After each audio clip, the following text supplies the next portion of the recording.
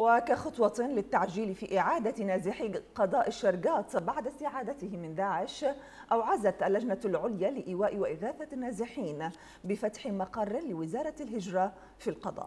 هذا وأكد وكيل وزير الهجرة جاسم العطية في حديث صحفي وصول أول قافلة مساعدات إلى الشرقاط لإغاثة المواطنين داخل القضاء.